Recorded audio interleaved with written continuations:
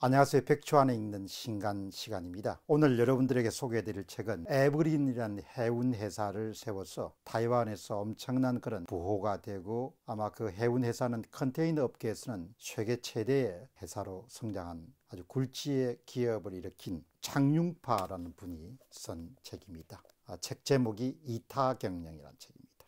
이 책은 본인이 18세에 아, 작은 중고선을 도입해 가지고 역경을 뚫고 정상까지 올라가는 그런 과정을 잘 그린 책입니다. 특히 지금처럼 불황이 깊어지고 모든 것이 어려운 시대에 어려움을 헤쳐나가는데 도움을 줄 수 있는 책이 바로 창융파의 이타 경영이다 이렇게 생각합니다. 놀라운 점은 해운선사를 만들었을 때가 우리나라의 한진해운이라든지 현대상선이 거의 출범할 때하고 비슷한 시기였습니다. 한 회사는 공적 자금을 받아야 됐고 또 다른 회사는 역사의 무대로 사라지고 말았습니다. 어떻게 이분이 해운업에서 세계 최고의 컨테이너 선박 회사를 이렇게 세울 수 있었던가 이런 문제에 대해서 여러 가지 이유가 있겠지만 이 책에서 아주 인상적인 대목은 특히 해운 경기처럼 사이클이 긴 경우에는 호황기가 되면 많은 사람들이 호황이 오래될 걸로 이렇게 생각해서 배를 주문하기에 바쁘다고 합니다. 그때마다 이분은 구입하는 이 배가 불황기에도 살아남을 수 있을 것인가 이런 질문을 자신에게 던지고 그 질문에 대해서 확고한 그렇다란 그런 답이 나오 지 않으면 굉장히 조심스럽게 경영했던 것이 자기가 롱런할 수 있던 비결이다 이런 내용을 밝히고 있습니다. 이런 내용 외에도 일반 시민 입장에서 또 경영자 입장에서 어떻게 헤쳐나갈 것인가 이런 질문에 대한 답을 구하시는 분들 같으면 추천할 만큼 아주 잘 쓴 책이 지금 소개하는 이 이타 경영입니다. 불황기를 헤쳐나가는 시민들과 경영자들에게 추천할 수 있는 아주 괜찮은 책입니다. 한번 여러분 구입해서 일독해 보시기 바랍니다. 책도 얇기 때문에 아주 좋은 책입니다.